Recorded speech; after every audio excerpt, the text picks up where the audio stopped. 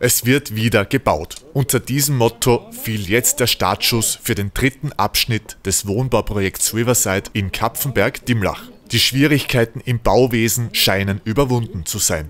Wir haben jetzt in etwa zweieinhalb Jahre Baupause eigentlich gehabt und jetzt ist es Gott sei Dank wieder gelungen, einen Neubau zu starten.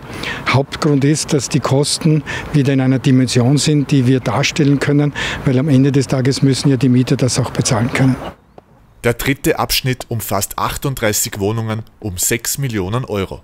Insgesamt entstehen um 24 Millionen Euro 155 neue Wohnungen. 16 davon sind fürs betreute Wohnen vorgesehen. Grundsätzlich ist das unser Ziel, diese Durchmischung. Die ältere Generation kann zuschauen, wie vielleicht die Kinder am Spielplatz spielen. Umgekehrt kann man auch Nachbarschaftshilfe machen.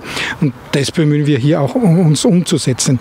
Und diese gemeinsame Situation, diese eigentlich Vereinsamung, die wir derzeit haben, da entgegenzuwirken, da hoffen wir, dass so ein Projekt mithilft.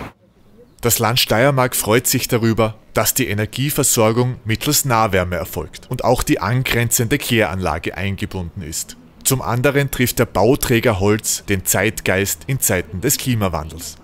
Mein Herz schlägt ja bekannterweise schon für Holz und hier wird der Rohstoff verbaut, Nachhaltigkeit, der ein Leben lang CO2 speichert. Holz macht einfach etwas mit uns. Holz muss man riechen, Holz muss man spüren und fühlen und man kann wirklich nur allen Verantwortlichen hier für dieses Projekt gratulieren. Die Wärme aus der Region, das Holz, der Baustoff aus der Region, mit dem Projekt Riverside entsteht in Dimlach ein kompletter Stadtteil neu. Neben dem Faktor Nachhaltigkeit zeichnet ihn auch das Zusammenleben aus. Ich glaube, die Umgebung macht es ja einfach. Äh, da haben wir perfekt den Fluss in der Nähe, da ist viel Grün in der Nähe, da gibt es Spazierwege in der Nähe, dann gibt es eine Volksschule, einen Kindergarten, das heißt, da ist die Infrastruktur ja perfekt.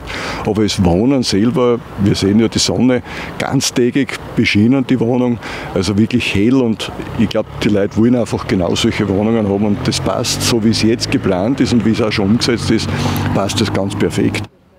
Die Arbeiten am dritten Abschnitt sollen im Sommer 2025 abgeschlossen sein. Läuft alles nach Plan, könnte der vierte Abschnitt Ende 2026 fertig sein.